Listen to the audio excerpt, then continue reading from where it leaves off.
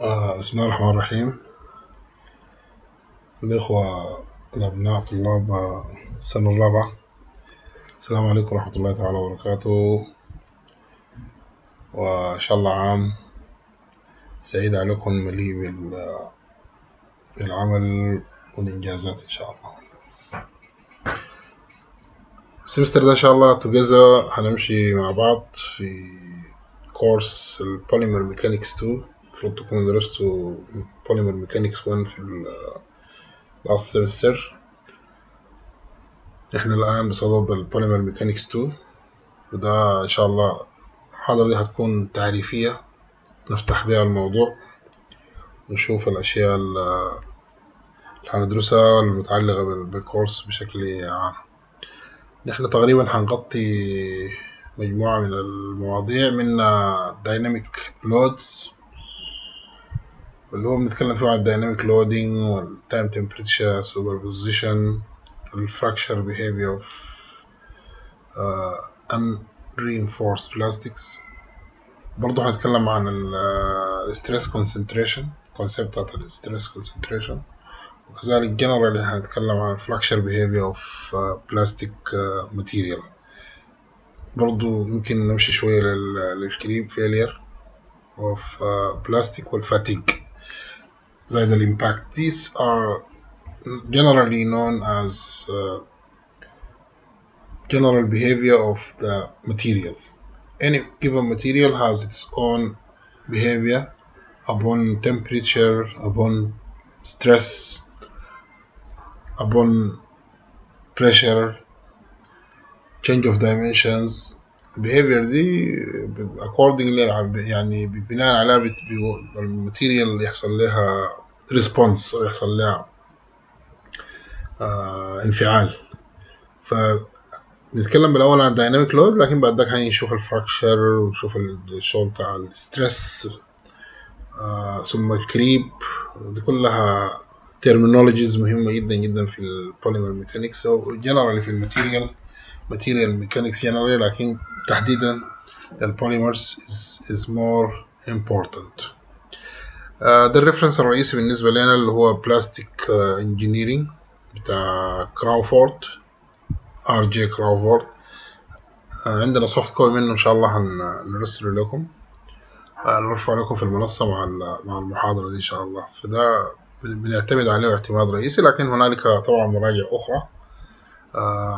You can use it or check it and you can search for more information in more different uh, references you are free enough to find the information wherever you you you search for and where- wherever you find it آه يمكن generally نحن تركيزنا يعني لو جينا نتكلم عن materials materials دائما هي آه الكلام عنها two things أي كلام عن materials بينسحب عليه two things أولا عن ال processing بتاع الماتيريال how to process the material into products وبعد ذاك ال properties بتاعت الماتيريال properties دي normally بتكون آه، يعني guidance أو بتدينا guidance للapplication يعني أي material so as to be applied for certain application has to be has to has certain properties material يكون عندها certain properties which will help the material to become useful in certain application فده this is very important بالنسبة لنا ال properties دي أنا زي ما قلت ال materials عندنا لها two things normally associated with materials processing of material means to to change the material into products اللي هي الطريقة بتاعت التصنيع وكده وتحويل الخام إلى منتج uh, ال properties are responsible for uh, for defining applications for a given uh, material. بالنسبة لل لما نيجي نتكلم عن البوليمر ميكانيكس أو لو نتكلم عن ال material mechanics in generally بيكون يمكن ال mechanical properties هي ال more ل- لحديثنا. عشان كده هنيجي نشوف يعني معظم الحاجات اللي إحنا هنتطرق لها هي هتكون mechanical properties في التو diagrams ديل as you can see مثلا ال change of uh, elongation مع ال strength يعني ال strength as you as you know when you apply uh, tensile strength on a given material if this material is elastic then some elongation will take place هيحصل شوية تمدد وبعدها ممكن نمشي للحتة بتاعت الانقطاع أو أو الدمج دي إذا كانت ال material elastic إذا كانت non elastic ما هيحصل لها أي أي elongation. فالعلاقة ما بين الالونجيشن والسترينجز strength بالميجا باسكال وال elongation طبعا هو وحدة طولية.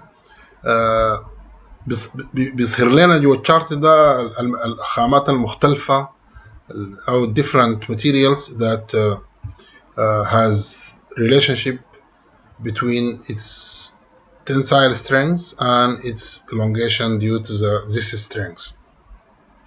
فهتلاحظ uh, in the left uh, hand uh, السيراميك ويمكن الجلاس إلى حد ما عنده very high strength it's very strong as well as brittle يعني brittle يعني crushable ممكن يتكسر ويتفتفت وبعدين الالونجيشن بتاعه is very weak ما في elongation أصلا يعني. فعشان كده هو brittle. كل ما زاد ال elongation كل ما هو بقى ductile ductile يعني قابل للسحب قابل لأنه يتمدد يعني. فتيجي تشوف السيراميك تيجي تلقى ال metals اللي هي الدايرة لونها cyan دي composites من من مختلف المواد هي الدايرة البنفسجيه دي. البوليمرز generally are very ductile and moderately strong يعني هي not rather strong the, the, as ceramics or glasses لكن uh, somehow strong rather better than الربر better than الربر الكبير ده يعني comparable to to الخشب wood and wood products والى حد ما comparable للميتالز لأن الميتالز في ميتالز below زي ما شايف هنا below even below uh, the polymers below the polymers in strength and less ductile يعني than the polymers فالبوليمرز comparable to other materials is rather strong and good uh, in elongation good in ductile rather ductile and strong وهي قاعدة in the center of these materials. وده بيوري إن هي uh, almost خواصها uh, مناسبة ووسيطة للكل. لو جينا نشوف ال density against ال Young modulus ال Young modulus اللي هو معامل ال stiffness stiffness يعني. شوف ال modulus against ال density تلقى برضو يعني البوليمرز is somehow in the middle it is rather density density is is less than ceramics than the composites than the metals or even the porous ceramics but uh, somehow it is heavier than wood uh, and forms, heavier than wood and forms.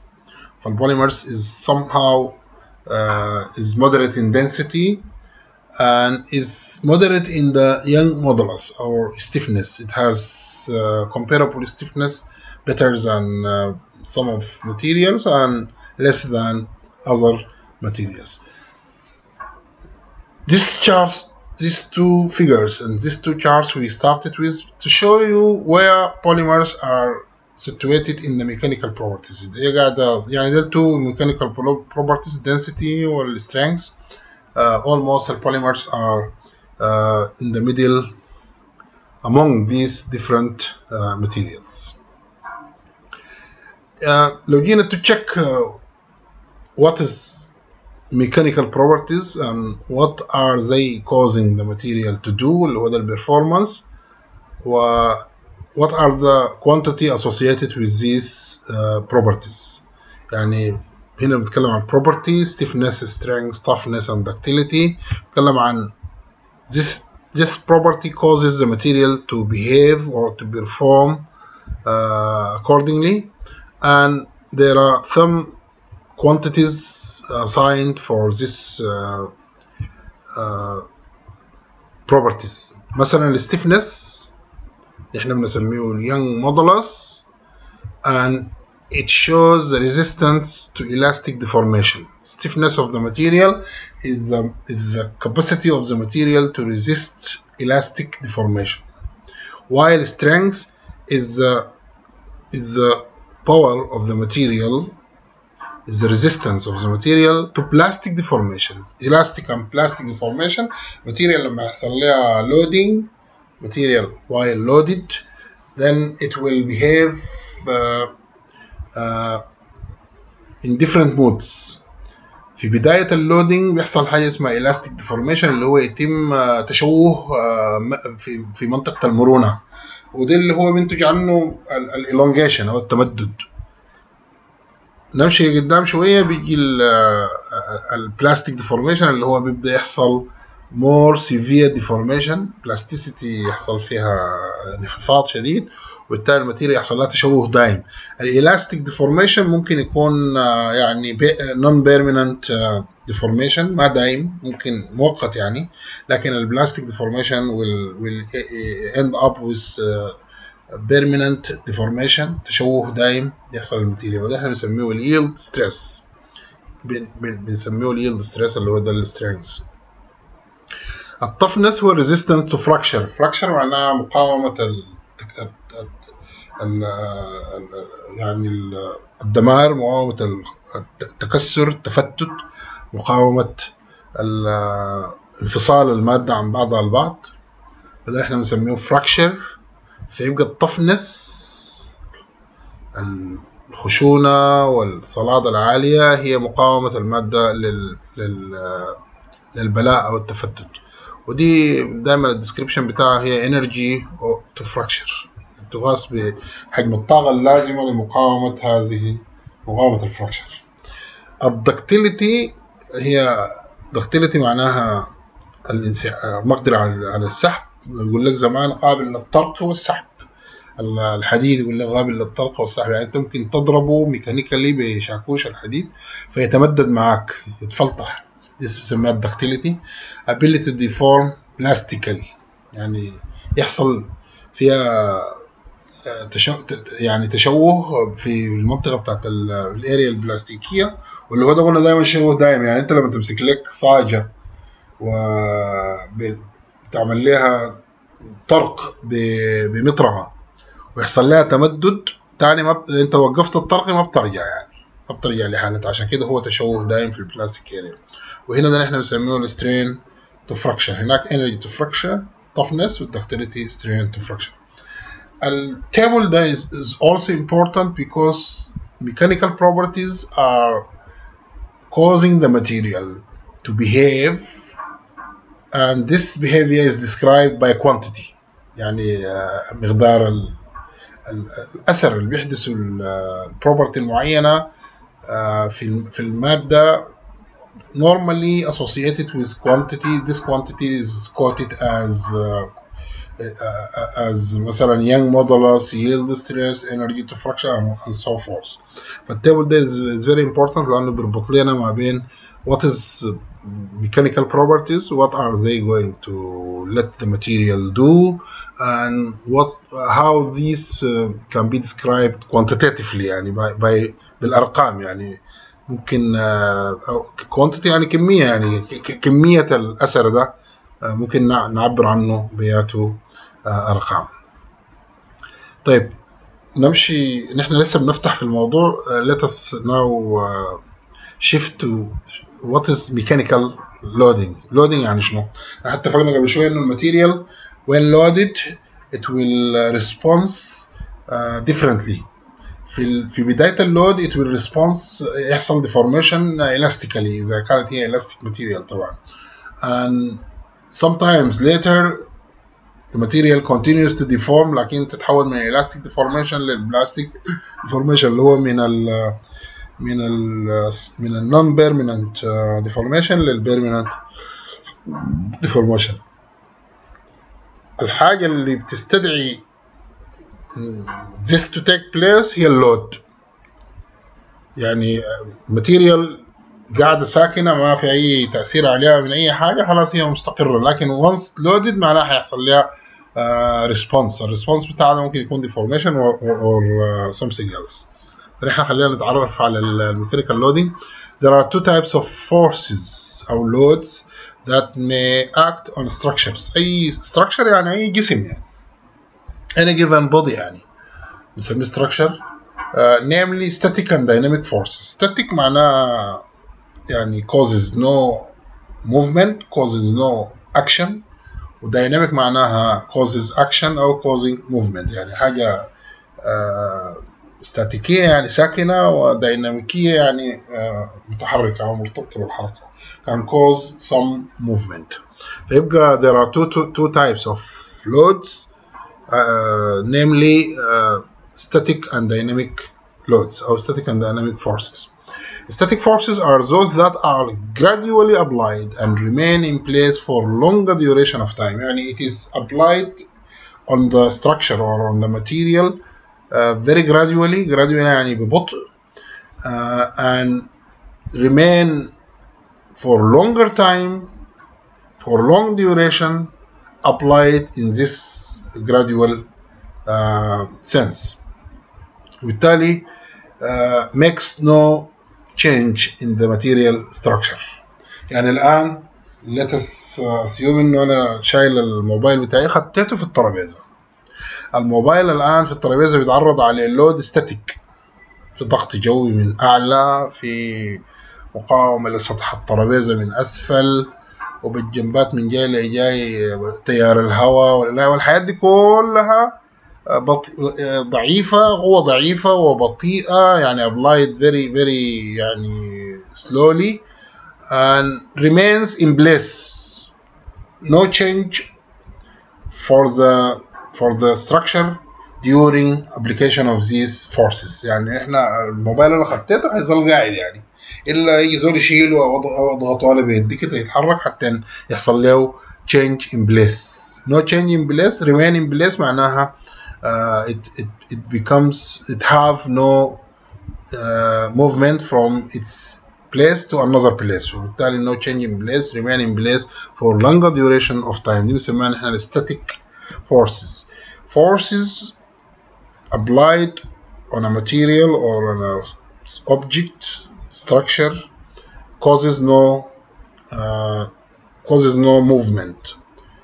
وطبعا ده أكيد معناها القوة دي كلها متزنة لدرجة إنه ما في واحدة منها أثرت بمستوى إنها تحدث change in place يعني These forces are either not dependent on time they are not uh, ما عندهم علاقة بالزمن لأنه ال force دي very long time applied على ال material وال material static ما بيحصل لها أي change.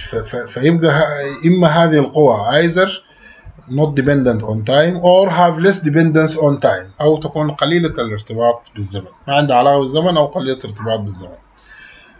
Live load acting on structures is considered as static load because it is usually varies gradually in magnitude and position يعني ما في ما في change واضح في ال في في في, في ال load كميته magnitude يعني كميته يعني وال position بتاعه ما بيتغير عشان كده هو بنسميه إحنا static load أو static uh, force اما dynamic force are those that are very much time dependent. تعتمد اعتماد كلي على الزمن. يعني الآن لو في عربية واقفة. هي ده عليها static load عليها اللود بتاع الفرامل موقفة على في محلها وزنها الجاذبية الأرضية إلى آخره. هو مختلفة acting on the on the car uh, causing the car not to move. Static ثابتة. طيب لو جينا وقفنا ورا العربية وبدينا نتفر نحن فضيناها كده وبدينا نتفر يبقى اوتوماتيكلي في acting against time. يعني أنا دفرت ثانية ثانيتين ثلاثة ثواني خمسة ثواني العربية ماشية ومتحركة بدأت تتحرك في في اتجاه القوى الضاغطة. يعني إحنا دافرينها ماشية قدامنا العربية أو من من قدام دافرينها ماشية خلف هي حسب اتجاه القوه هنا this force applied to, to cause the car to move is dependent on time. لأن أنا لو دفرت ثانية واحدة ووقفتها العربية هتتحرك شوية وهتجيب برضه ترجع تاني تبقى ستاتيك لو دفرت ساعة ووقفتها العربية هتمشي الساعة دي كاملة وبعد ذاك هتجيف يعني المسألة بتعتمد على شنو؟ على القوة اللي أنا بستخدمها أو as well as time. فعشان كده قلنا those that are very much time dependent and this either act for a small interval of time or quickly change in magnitude and direction. يعني either ممكن العربية نحن ندفرها ثانية واحدة ونقيف. نرفع القوة. لو لو ال other forces ال static forces اللي كانت أصلا مثبتة العربية ومخليها واقفة آه نحن استعملنا قوتنا أعلى منها ل short time بعد شوية ورفعنا القوة معناها القوة دي خلاص بعد شوية هتقيف وهتتناقص اثرها يتناقص العربية تمشي تتحادى تتحادى إلى أن تقف. يعني يتناقص اثرها شيئا فشيئا until the static forces act again uh, and causes the car not to move فيبقى هنا ال ال ال ال ال dynamic force is much dependent on time either act for a small interval for very small interval of time or quickly change in magnitude or direction او نحن نستخدم قوة عالية تعمل change uh, كبير في في ال في في الماجنتيود وفي الدايركشن الخاص بال بالجسم يعني. ممكن الجسم يحصل له حركة يعني مثلا لو واقف له في في حتة متدردقه شوية وهبشناه بس هبشة خفيفة كده overcome the static forces. بعد ذاك new forces will be generated that will help the car to uh, move without adding new forces. اللي هي أنا دفرتها كده في العالي من العالي وخليتها. هتتدردق براها. ليه هتتدردق براها؟ لأنه في نيو يعني في تشينج كبير جدا جدا في القوى ميزان القوى. ومن ضمنها الاسلوب ده هيولد محصلة بتاعت قوى إضافية تعمل على يعني مساعدة العربية في الحركة في في المستوى المايل أو المنحدر ده. Uh, anyhow. dynamic forces means forces that causes the object or the structure uh, to, to, to move or to change its uh, magnitude or to change its direction earthquake earthquake forces اللي هي دي earthquake البراكين earthquake forces machinery vibrations and blast loading are examples of dynamic forces earthquake يا اخواننا البركان البركان ده الارض ساكنه تماما ومستقره وما فيها اي حركه فجاه من دواخل الأرض يسور البركان وبحرارة عالية وبضغط عالي جدا جدا يفجر ينابيع في سطح الأرض فتخرج حمم بركانية تنتشر في كل يعني بدل ما الأرض كانت ساكنة الايرثكويك قوة تجعل الأرض تتحرك. تعمل اهتزازات أرضية تعمل زلازل تعمل كذا دي كلها قوة. فهي ده مثال للديناميك وطبعا بعد شوية القوة دي تهدى وبعد شوية الزلزال يقيف. لكن يحدث ما يحدث من التشوهات يعني من الآثار المختلفة. machinery vibrations الاهتزازات الميكانيكية لأي جسم بيتحرك زي مثلا لما كانت العربية تلقى العربية ترجف كلها لأنه في vibrations آه and uh, are best examples for for dynamic uh, forces. Structural response is deformation. يعني طالما في forces applied ده ده نحن بنسميه stress أو إجهاد بالعربي. بقابله ال material هيحصل عليها انفعال اللي هو ممكن يكون strain أو ما يسمى ال deformation structural response is deformation. يعني الاستجابه البنائيه للجسم هي ال deformation behavior of the structure associated with the particular loading يعني حسب ال حسب ال loading وخصائصه ومدته وكذا هيحصل uh, structural deformation behavior يعني loading طوالي بيحصل معاها deformation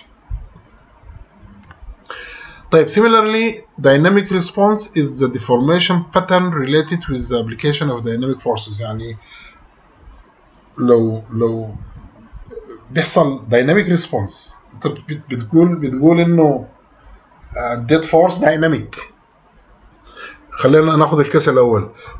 you applied static force ال response static برضه يعني you feel you feel nothing. While static forces are applied on the structure انت ما بتحس باي تغيير ما بتحس change dynamic forces will generate dynamic response dynamic response or or uh, deformation واللي هو عباره عن patterns related with application of dynamic forces يعني أنا uh, جبت لي قوه العربيه واقفه جبت لي قوه من اعلى خطيتها على العربيه وضغطتها ده جسم متحرك ب load عالي جدا جدا. Applied on the car structure from up then the car will will be damaged. هيحصل لها دمار. ده ده ال dynamic response dynamic يعني معناها change in shape change in position change in direction. تحصل تغيير ما. فهنا التغيير يكون برضو dynamic دفرت العربية حصل لها dynamic response ليه؟ لانها كانت مثلا واقفة في في axis معين في position معين الآن change the position فحصل لها dynamic response تحولت من محل إلى محل. In case of dynamic load, response of the structure is also time dependent. ال response is time dependent. يعني ال earthquake يا إخواننا normally الأرض مستقرة يحصل شرخ في الأرض بسبب الزلزال. تحصل اهتزازات أرضية تتحرك كل الأجسام ده dynamic response لفترة زمنية معينة time dependent time dependent بالتالي بيعتمد على على الزمن ده. يعني ممكن الزلزال يستمر خمسة دقائق لكن يحدث أثر يستمر عشرات الدقائق وعشرات الساعات. ممكن يعمل فيضانات تكسر ما حوالينا من من من عمار لعشرات السنين ما يعمر تاني يعني. فهي المساله بتعتمد آه، إنه ال load آه، هو time dependent وال response also is time dependent ويعتمد اعتماد كلي hence varies with شنو آه، with time Dynamic response is usually measured in terms of deformation displacement مثلا rotation إلى آخره acceleration. يعني العربية أنت بتدفرها بيحصل لها displacement بتتحرك من محل لمحل. وممكن تكون كانت ساكنة تعمل لها تسارع يعني زي بتاعت الوقفة في slope اللي قلنا قبل الوقفة في في سطح مايل دي انت بس لو خطيت في اصبعك كده هتبدأ تتحرك وتمشي بسرعة تتسارع اللي هو ده ال acceleration يعني. يا يعني إما تمشي بسرعة منتظمة velocity أو تمشي ب acceleration آه بتسارع حسب آه ده dynamic response كله حسب ال situation اللي بيتم فيه ال loading يعني. عموما let us uh, consider انه الميكانيكال لودنج زي ما اتفقنا الان either static or dynamic static or dynamic احنا في الكورس ده we will never uh, consider static loading I suppose انه انتوا في الكورس الاول or uh, في في mechanical engineering ولا في physics ولا اي حاجه سابقه uh, you already have some uh, detailed information about static loading. But this course will, will completely um, concentrate in dynamic loading. According to the dynamic loading, some responses will take place. Either fracture اللي هو الفراكشر قلنا الانفصال creep اللي هو الانحسار impact اللي هو الأثر الذي يحدث الصدم أو الفاتيج اللي هو اللونج time uh, deformation. Very long time deformation. Fatigue ده يعني زي ال زي ال القوة القليلة التي لا تحدث أقل من احتمال ال structure أو الجسم. لكن لما تستخدم لزمن طويل ممكن تحدث أثر بعيد المدى اللي هو ال fatigue وتوصل لنفس النتيجة اللي بيوصل لها ال fracture أو ال impact أو whatever. يبقى الميكانيكال لودينج either static or dynamic. The dynamic uh, loading had uh, deformations, different deformations or different uh, responses. نحن هنركز على الأربعة ديل اللي هو الفراكشر والكريب والإمباكت والفاتيكس دي كلها terminologies we will uh, we will go through this course هنشوفها إن شاء الله in details all these different uh, uh, deformations generated from using dynamic loads upon materials will affect all the type of materials known بالنسبة لنا اللي هو ال ceramics ال metals alloys ال polymers ال glass ال wood composites إلى آخره يعني فكل أنواع ال materials المختلفة معرضة ل dynamic loading وممكن يحصل لها uh, يعني one of the deformations one or more of the given deformations اللي هي الفراكشر والكريب والإمباكت والفتيك إلى آخره يعني. Uh, this is uh, the first uh, uh, introduction I would like to you to know. So next time we will go deeper and we will try to more to go in more details. Uh, you will find this lecture as PDF